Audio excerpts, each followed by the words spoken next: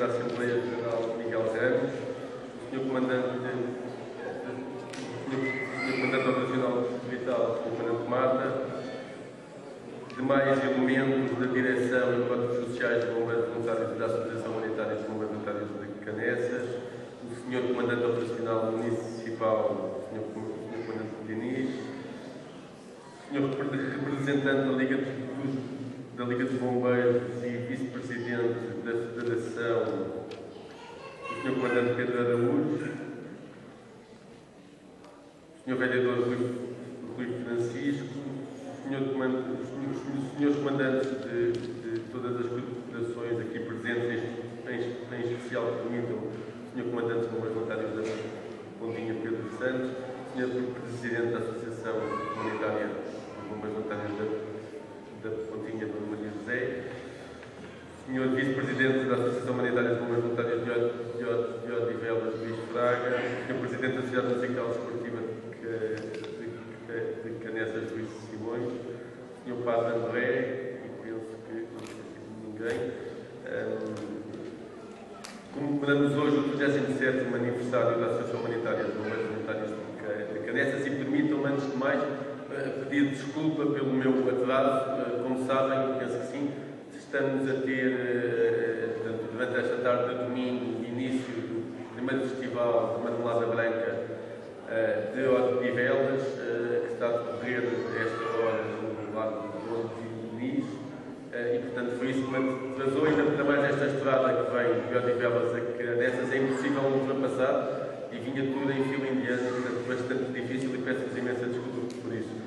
Temos neste aniversário menos frio do que, ano, do que ano passado. Recordo bem que o ano passado foi o primeiro ato oficial que tive enquanto vereador da, da Proteção Civil. Estava um frio, um frio terrível. Uh, fui muito bem recebido na altura, como aliás sou sempre bem recebido nesta vossa casa e por isso vos agradeço. Recordo que se não fossem os, os voluntários de Alcochete com o corpo que tinham, uh, nada aquecia naquela noite. O trabalho que a Associação Humanitária dos Bombeiros Voluntários de Canessas tem vindo a desenvolver ao longo dos anos reveste-se de um grande reconhecimento e apreço por todos os que convosco interagem, mesmo sendo de outros locais onde esta Corporação de Bombeiros se desloca em auxílio. Ao longo de toda a vossa história, estes nossos soldados da paz têm agido como verdadeiros heróis que são no resgate, no salvamento, no combate a incêndios, entre outras situações chamados a intervir. Mas neste ano de 2014, o flagelo dos incêndios, felizmente, ou graças a São Marçal, padroeiro dos bombeiros convictos daquela bela obra inaugurada no início desta, desta sessão, foi mais grande do que o ano passado. Mas não foi por isso que todos vós deixaram de dar provas da vossa bravura, respondendo sempre com eficácia e prontidão. E como são as pessoas que fazem a instituição, uma saudação muito especial a todos os homens e mulheres, bombeiros e bombeiros, que formam a Associação Humanitária dos Bombeiros Voluntários de Canessas e que nestes 37 anos nunca baixaram os braços na defesa desta instituição. Permitam-me também uma saudação especial a todos os homenageados nesta sessão, nesta, nesta sessão de hoje. A Câmara Municipal de Odivelas continua com esta responsabilidade a apoiar os bombeiros em geral e, em particular, a Associação Humanitária dos Bombeiros Voluntários de Canessas. Consideramos todas as verbas transferidas para, as corporações de bombeiros são um verdadeiro investimento. E porque falamos das transferências, importa sermos claros. O ano de 2014 foi um ano particularmente difícil neste campo. As transferências para os bombeiros foram, como todos sabem, inferiores aos valores de anos anteriores, que conseguimos, apesar de tudo, compensar com um aumento significativo em investimento direto.